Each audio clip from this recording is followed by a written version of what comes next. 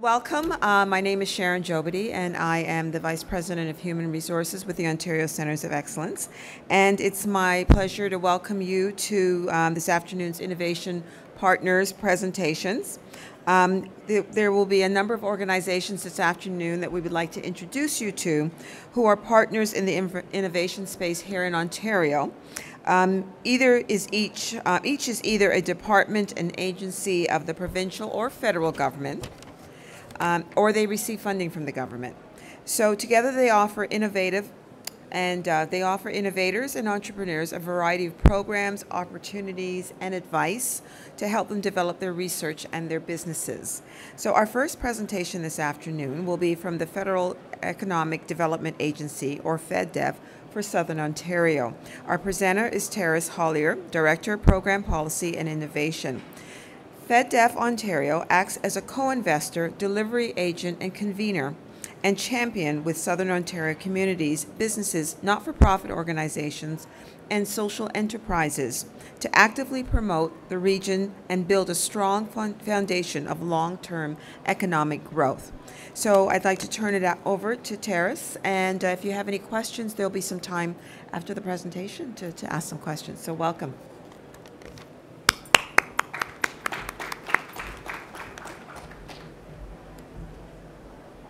All right, hello everyone and thank you. And uh, thank you for coming out and uh, spending some time with me.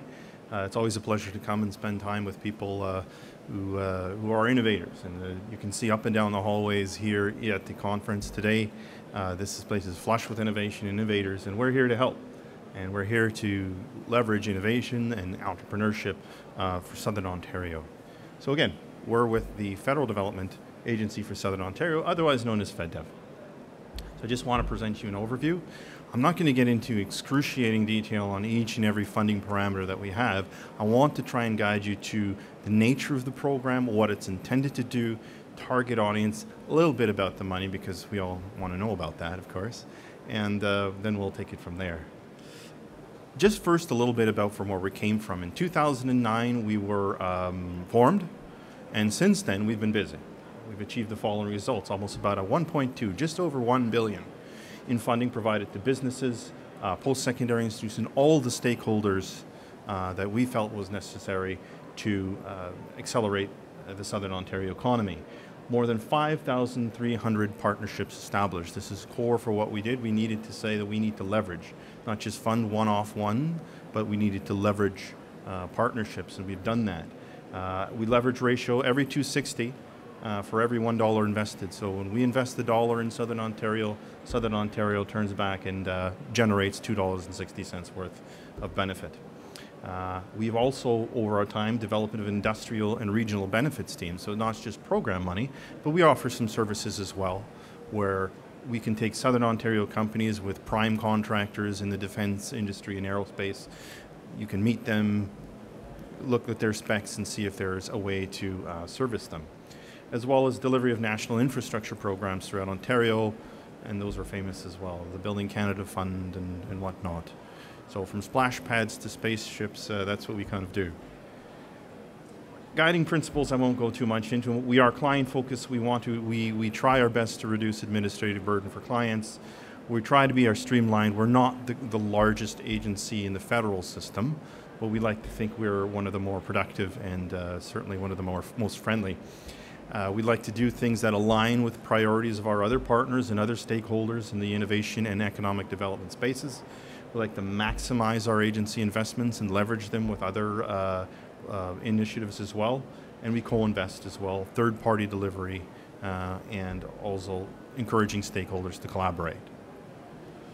Um, that's our role. I won't go too much into our role, but our context is there. Uh, so we've been busy, over about, oh, just over a billion over 5,000 partnerships, uh, $1 invested to 260 in, in benefit. Uh, that gave us a new mandate, amongst other things. So we now have a new mandate. Uh, in Economic Action Plan 2013, we got $920 million in new agency funding. So we're open for business. We were open for business since officially for our programming funding since December 2013. We are taking applications for everything that I will speak to today.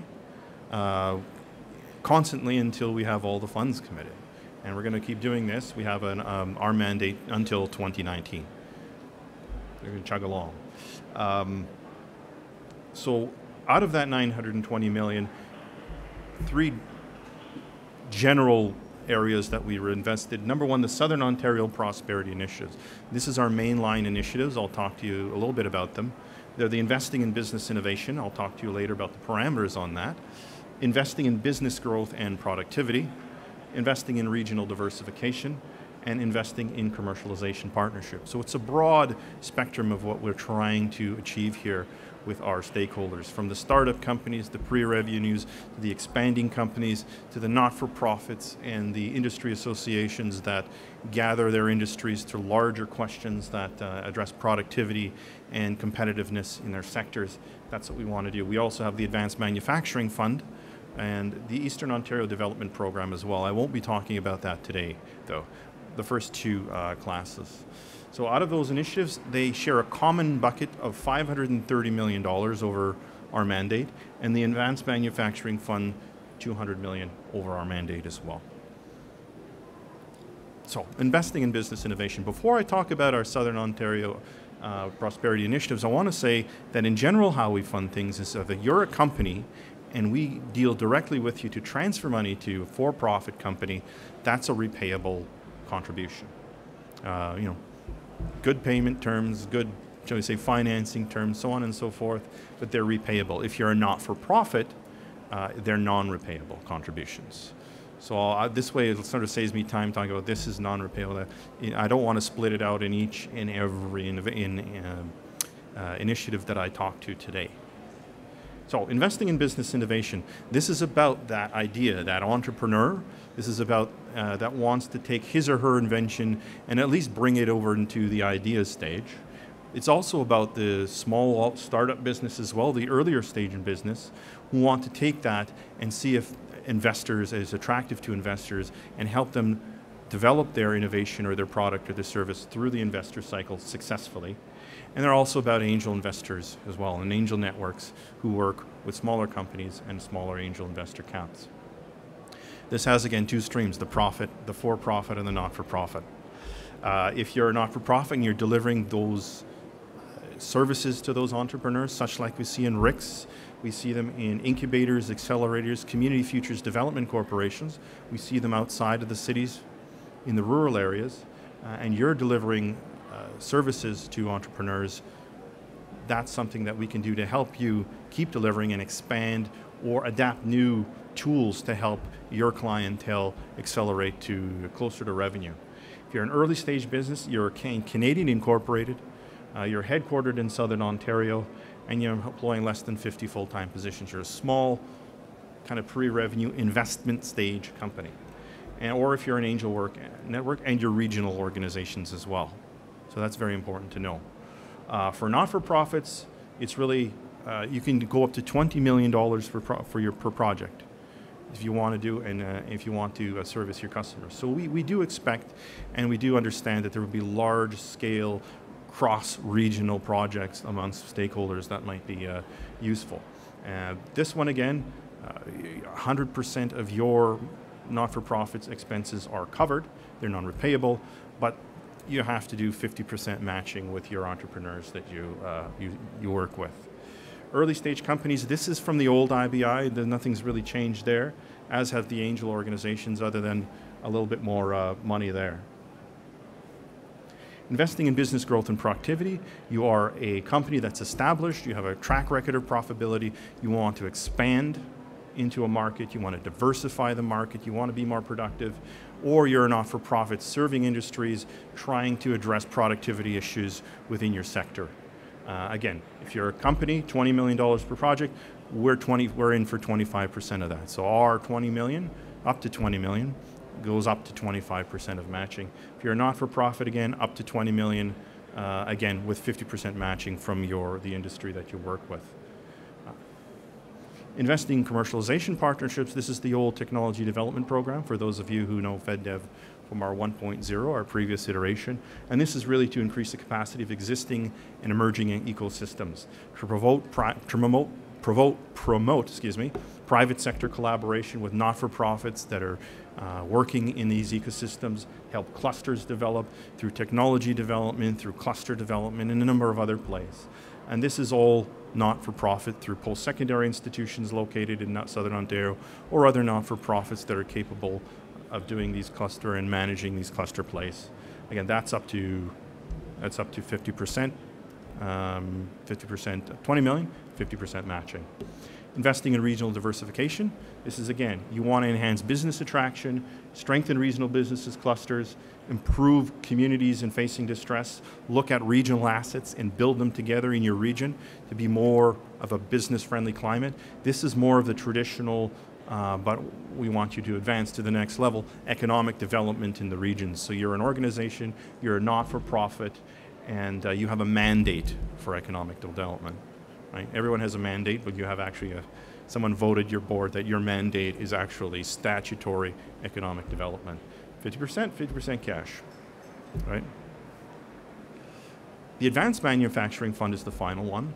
Uh, this is again this is unique in the sense that this we are delivering for all of Ontario, not just Southern Ontario. What I've talked to you about is our catchment area in Southern Ontario. This, the Advanced Manufacturing Fund, is for all of Ontario, the north, the south, east, the west, the up, the down, everything. Uh, and this is really to support large-scale, incremental, transformative projects, uh, technology adoption and adaptation, allowing, uh, again, allowing sectors and individual companies to diversify, to, to adapt, and expand their advanced manufacturing uh, activities, help them diversify markets, help them participate better in value chains in the global perspective as well, be a better player and more productive as well. There's for-profit and not-for-profit. Uh, eligible, again, if you're a firm that's manufacturing and R&D in, in, in Ontario, you're, you're, you're eligible. If you're undertaking manufacturing in Ontario but not R&Ding, you can still qualify for AMF money. It helps you uh, attract that research mandate into, uh, or better expertise into your company and into the region. Uh, and if you're conducting R&D but not manufacturing, well, that means you're the innovation organization of a larger chain and you want to retain and expand your uh, leadership position in that global chain. And so that's what we want. Uh, again, for companies, um, it starts at 10 million per project because you have to be larger scale and trans. Normally, uh, 10 million, we say that. Up to 50%, $20 million and 50% cash. For not-for-profits, it's the same thing, same parameters, but it's not repayable. Uh, whereas for, again, for large companies it is. Um, not-for-profits, though, are partnership with an anchor firm. There has to be an anchor firm that brings in an ecosystem, a supply chain, a value chain in with it, companies and so on and so forth, for uh, to be uh, considered an attractive uh, instrument for the AMF. It's a unique features actually because it does, I have to actually talk a little bit more on the parameters of AMF because it is unique. Again, it's for all of Ontario. Uh, we're taking applications now. They're, as soon as they're assessed and they're complete, we can do a full assessment of them. There's no waiting and batching or anything. You get it in, we assess it. Uh, there's two intakes uh, from December well, to this October. We take a break, finish up our assessments and approval, do a little bit of uh, valuation, and then we do it again in intake 2015. Should there be a little bit more money left over after that? Maybe there's a third intake. I doubt it, but it's very popular already. All of Ontario, and there's interdepartmental collaboration. We will be, and I'll talk about this, there are three key assessment criteria, amongst others, in the AMF, and that is your market relevance, your innovative nature, and the economic spin-offs. This really is about those three. Industry Canada and their sector groups are helping us with those they're actually helping us with those three uh, assessments, providing them to us. So it's a, it's, it's a partnership, really, collaboration between us, as well as FedNor is involved in helping us uh, get better projects out of the north as well. Certainly, cross-regional uh, collaboration as well is very important under this. So north-south collaboration, wherever it's led, cross-regional, cross-sectoral is really good. Um, and so that's where Industry Canada plays with us as well. Any questions? Like you can read, we have a website, we've got brochures, we've got people in our FedDev booth, number 80, 802. We've got some comms people there. Put up your hand there. So you can start with our comms people, and there's some of our uh, managers as well. I think Mark might be here, the manager of the AMF. Uh, if you have any questions, uh, that's that. Uh, so certainly happy to take them either now in the allotted time or when I'm out on the floor as well. Thank you.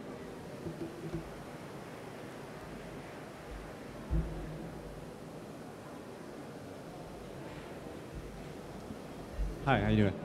So I'm here representing um, a social incubation enterprise. Um, I'm here also representing a university that's engaging students in experiential learning opportunities. And we're working with um, the Community Innovation Lab within the Durham region on developing social, social enterprises, essentially. And I think the misconception behind social enterprises is there's no actually, there's no financial return. Um, so my question is, how would an enterprise, or sorry, an incubator that is trying to obtain funding to sort of expand their initiatives or a university trying to collaborate, like how would they go about sort of applying for these fundings if, or sort of changing the perception behind social enterprises? Well, I think we're open to taking social enterprises. You'll see in our 1.0 in our first iteration, very much about science, technology, engineering, and mathematics. It still is a driver and we'll still be primarily engaging that. But social enterprises, I think we've realized that uh, that's an area we've not yet tapped. And so for if you're an incubator and you want to keep providing services to social entrepreneurs, help them uh, grow and expand and basically mature their social entrepreneurs, you'd go through IBI, our IBI, Thank amongst you. other things. I mean, if you're stuck, we can help you talk to our other partners. There's also the concierge service over here, about 40, 50 programs that they have on their list that can actually help. So, you know, social enterprises are now recognized as being valued for economic development and any other and they're real, really, um, you know, they've come a long way in, in, the perception of a lot of people. Right. Thank you. So congratulations, you're on the end, you're at the beginning, something good, okay. or at least we're at the beginning of something good. We're catching up to you. I think that's really more appropriate. Yes, there's a lady there. Hi. Um, just the, the, information that you just presented, uh, are they easily accessible on the website? Yep, you can just click the program or click who you are and what you want to do, and uh, there's a list right there. Um, you know, we have all of our guidelines published on the web, our applications on the web. Uh, you just need to go on it, click it, fill it out. It's all there. Uh, just a follow-up question on that, because um, there are a lot of funding um, from different sources are there any thought uh, of integrating them into an easy access, um, like a database? Because uh, my company actually have mm. worked with consulting companies and paid fees to um, to understand what are the funding opportunities and what programs fit into right, structure. Right. Just wonder, you know. In, in fact, there are, there are a number of really good resources. The agency operates Canada Business Ontario, uh, which is our call center slash human center where you can talk to people and actually say, this is my need. And they will act, take you through a number of, pro, of uh, programs that, that, they, that they help pathfind for. This is federal and provincial within Canada Business Ontario. It's a joint uh, effort there. FedDev Ontario runs that. And we actually have CBO um, colleagues at our desk at 802 as well. Uh, the other thing is the concierge service right here, which is more of an innovation play just across. NSERC, uh, or sorry, the NRC IRAP has launched that. And they have, again, it's about 40, right, Manny? Or how many programs that they have? I heard about 40. Yeah, so at the moment it's around 40. So it's only going to get better and it's, it's not a cent, it's just your time. So, and they're just about like 20 feet away from you. So they're, so again, you're at the beginning of something great. So I'm glad you've asked that because a lot of companies do have that problem. Um, and you can go to an IRAP ITA as well. Call IRAP and say, "This is my problem," and, and they'll be helpful.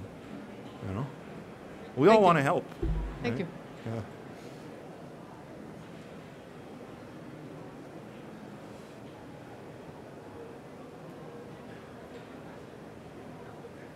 All right, so if anyone else has any questions, I'll be wandering here and just nearby, and so you can ask me after after everyone else talks. All right, take care. Thank you, Taras, for that uh, presentation. So our next presentation uh, this afternoon will be from the National Research Council, or NRC. And uh, our presenter is Manfred Hubert. He is the Director, Ontario St. Clair, Re um, St. Clair Region for the NRC's Industrial Research Assistance Program, or IRAP, as you may know it. Um, the NRC is the Government of Canada's premier research and technology organization. Working with clients and partners, they provide innovation, support, strategic research, and scientific and technical services. Um, there will also be some opportunity for questions. So I just want to call Manfred up. Here you are.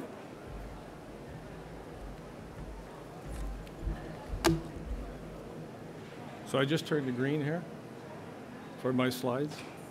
Okay. Well, thank you for that introduction, and I'm glad you said that introduction about NRC because I can skip a couple of slides that way.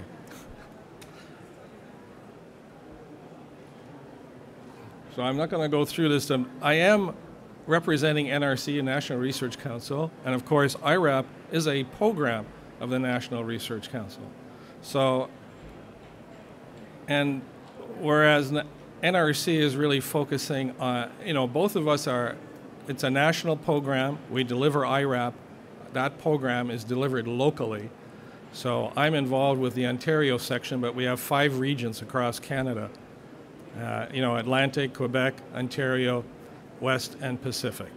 So I want to talk more about IRAP than I want to talk about NRC, but I don't want to misrepresent and not take the time to talk about NRC itself. Uh, as you know, NRC has gone through a, a, a large transition, and uh, you know, NRC's vision really is to become the most effective research and technology organization in the world, stimulating sustainable domestic prosperity. So you know, it's different than they were a research organization. They are now sort of following IRAP's lead, and they're working a lot more closely with companies. And of course, IRAP's vision is a little different, but in the same area. We want to be the first place where innovative Canadian companies or firms go to support for support to develop ideas into commercial success. So I think commercial success is also something which differentiates us from the, the SR&ED program, which is important for Canada, but we're where they don't worry really about whether there is ultimate commercialization, which they hope there is, we certainly make that a prime factor. Oh, let's get away from here. So there you see we're part of the all the different businesses, strategic research and development at NRC, technical services, IRAP, and, uh, infra- and uh, science infrastructure. So they still run the telescope and things like that. So really, the NRC IRAP business model, I think, is, is somewhat important, and it differentiates us again because we think of it as the ITA advantage. I mean, we have, you know, local presence, we build relationships, we have a network across the country, we invest dollars in labor pool, but we have the ITAs, the Industrial Technology Advisors, and these are people that in most cases have had a number of years of technical and business experience and they work closely with companies and try and guide you mentor you fund you. There's many different things and that's different than sort of you know accessing a website and getting an application and then waiting for a response or something i think it's an important thing to remember so when we provide and we try and develop a trusting relationship with the client. We don't sign NDAs or anything, but in essence, if we were to broadcast some of your trade secrets, we wouldn't be in business. And we've been in business for 50 years now. So we're very good at that. We provide advice and customized solutions. So we, you know, we're, we're, we're looking at the company and we work with you individually, not just as some generic group or a sectoral group. We provide networking opportunities.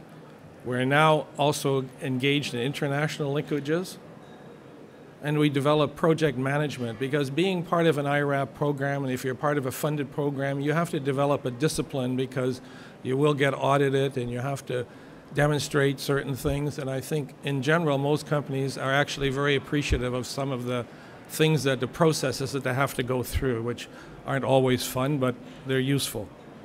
And we do have constant follow up. So we may not be engaged in a project with you this year, but the ITA should still be visiting you and find out how your business is doing, what are your needs, how can we help you. Of course, we probably wouldn't be able to do any of the things we do without having the ability to give financial support. So we do give financial support. And our financial support is in the form of a non repayable contribution. And so we have contributions which go to firms, companies, for profit companies. Uh, they have to be really, they have to be incorporated. That's really the only stipulation in terms of getting uh, direct financial support. But there are other factors which will determine whether you will actually get supported or not. We also make contributions to non-profit organizations. Uh, we have we administer on behalf of Human, Res- Human Resource Canada, sorry, uh, the youth employment program, whereby if you hire a college graduate or a university graduate uh, for mas- basically his first job, but doing what he was trained to do. In other words, if he's a software developer, he develops software, he doesn't build computers or something like that. So we provide a. Uh, it really depends on how much money we have available. This year, it's $15,000 for six months. And we also administer the Canadian HIV Technology Development Program. This is a joint program with the Gates Foundation and the Government of Canada. And what I want to talk about a little bit more this year is a new program which is called BIAP, or the Business Innovation Access Program, which some of you may have heard about. And this is the background from this that this was announced in the last federal budget, where um, was supposed to provide 20 million over three years to help small and medium-sized enterprise access research and business development services at universities, colleges, and other nonprofit research institutions. So it's a little different because in general, we many of the companies we don't don't necessarily work with research and colleges or not for profit, but this is to stimulate activities between industry and, and those. The idea is also to commercialize, to help small and medium sized enterprises commercialize their products or services more quickly and effectively. So, an overview of BIAP it's okay, it's an NRC IRAP program designed to help Canada's SMEs commercialize new products, services, and processes more quickly. BIAP will provide SMEs with non repayable funding to help pay for research, technology, business development, services at universities, colleges, or other nonprofit research institutions. And BIAP will run from March 31st, 2016 will run to March 31st, 2016, investing 10 million per government year for 20 million dollars total. That's for all of Canada, mind you, okay? It's not Ontario. And Ontario roughly gets about one third of that funding. So the distinctive features of BIAP are total IRAP contribution up to $50,000 to be used to pay only for contractor services. So it's IRAP pays up to 75% of the contractor costs. So basically, if you have a contract or you want to do something with a university college, they have to provide a proposal. It's going to cost X dollars to do this. They have to provide you with information. What are they doing? What process or what so uh, what problem are they trying to solve for you or what measurement are trying to make for you and all of the work is all like BIAP BIAP is accessed through ITAs and it comes from the company. So we don't talk to the college, whatever it is. The college talks to the company, the company talks to us. The project can be up to one year long. Project work is so it's technical or business services to accelerate a firm's commercialization efforts around an innovative product. Contractor, contractor must be, to be eligible, must be an accredited university, college, nonprofit research institution receiving publicly financial support, or if necessary, a government lab. It could be NRC itself. Some of their services could be used.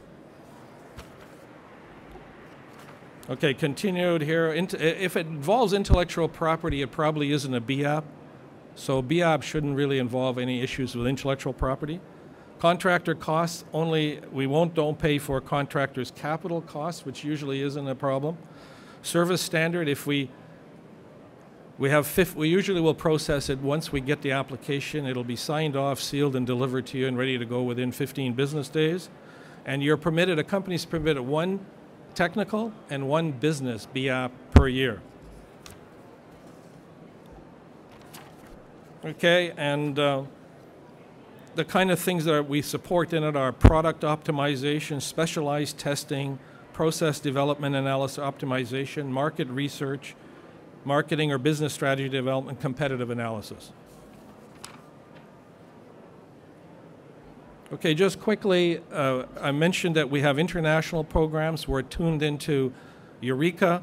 So, therefore, if you have a project where you may have a partner, which is, say, in Europe, uh, you can apply for an international project whereby the European partner will be paid through Eureka in Europe and a, a Canadian partner will be paid through the IRAP program. Okay. okay, the clientele, well, just to give us a quick idea, we cover all industry sectors. You can see a big spike for ICT, but we cover manufacturing. So it really doesn't matter what your business is. We, we pretty well probably are involved in it.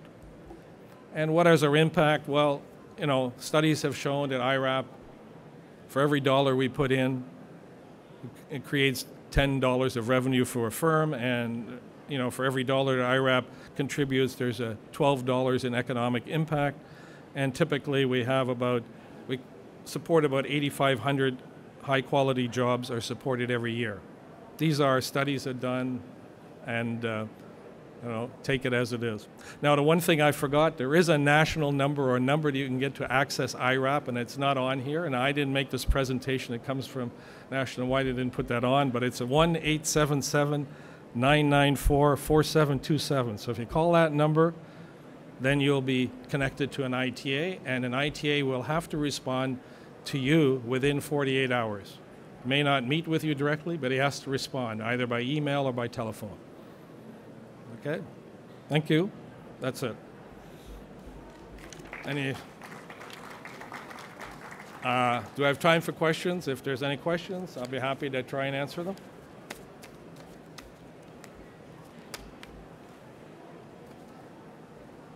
Hi, I'm Monica from Marquette University. So the application for the BIAP, is it made by the university or by the SME? The SME, and the application goes directly to you, and then do they name the university?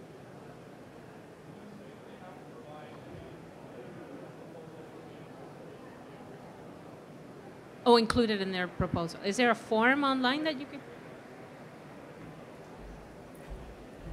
God. Okay, uh, there is a there is a process and there's a proposal template and everything like that. Online. So so the company when they talk to their ITA and they say, look, we're interested in doing BIAP, he'll provide BIAP, he'll provide all the information to you. Okay, thank you.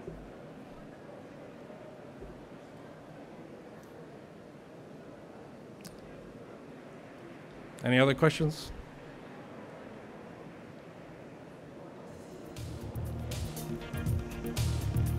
Thank you.